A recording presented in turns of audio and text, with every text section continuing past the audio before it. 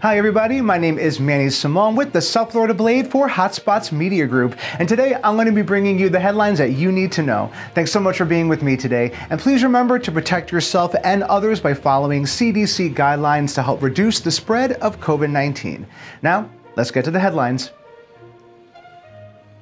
Weighing privacy issues, a federal appeals court has sided with a transgender student who argued his constitutional rights were violated when the St. Johns County School District prevented him from using the boys' restroom at his high school.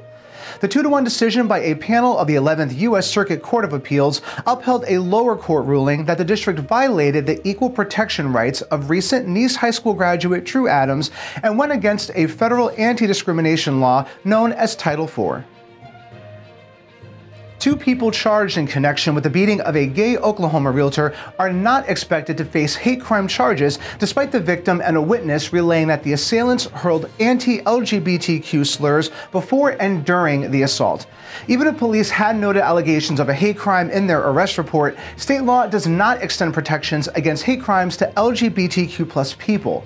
The victim, Christian Counsel, maintains his attackers were motivated by hate. According to a new BBC survey, British female athletes say they could be more open about their sexuality than male athletes, and only a minimal number of them say their sexuality has negatively impacted them in their sport. More than two thirds of respondents, 68%, say that they feel women athletes can be more forthcoming about their sexuality than men. Encouragingly, just 6.5% of respondents said they think their sexuality has negatively impacted their athletic prospects. The South Florida Blade is proudly sponsored by SunServe Mental Health and Social Services for the LGBTQ community. Learn more at sunserve.org.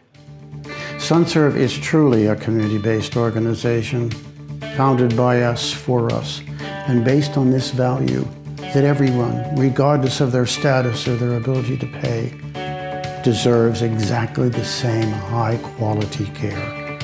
And always that will be what drives SunServe.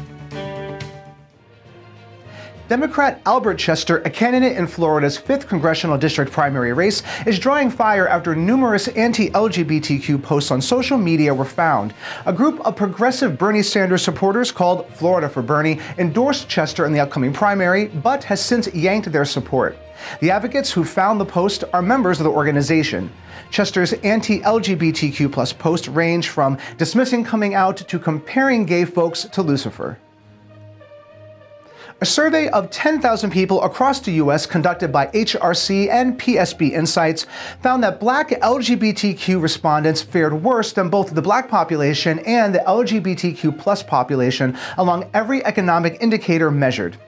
The study found that black LGBTQ people were more likely to have had their jobs affected by the pandemic.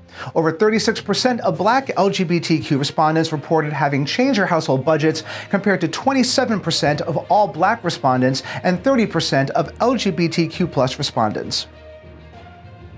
And finally, this week from the world of entertainment, the co director of the popular Matrix trilogy, Lily Wachowski, confirmed that the sci fi series is a transgender allegory. Responding to a question posed about this Matrix fan theory, Wachowski said she was glad it had gotten out that that was the original intention. She said the Matrix series was about a desire for transformation, but it was all coming from a closeted point of view. The fourth Matrix film is slated for release in 2022. Okay, folks, that wraps up this edition of the South Florida Blade for Hotspots Media Group. Please check us out online at hotspots.lgbt for continuous updates and breaking news. You can also follow us on social media to stay up to date on what's happening in your community. I'm your anchor, Manny Simone, and thank you so much for being with me today. Don't forget to catch Sean Palacios on Hotspots Live each Monday for your guide to local entertainment. I look forward to seeing you again next Thursday, but until then, stay safe and be well.